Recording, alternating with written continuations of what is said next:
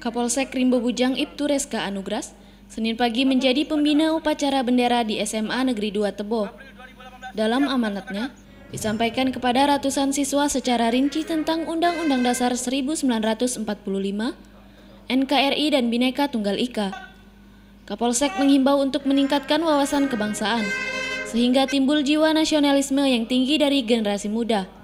Ibtu Reska Anugras juga menerangkan kepada siswa harus dapat mengamalkan butir-butir Pancasila dalam aspek kehidupan, agar terciptanya generasi muda yang maju, kuat, anti radikalisme dan bebas narkoba.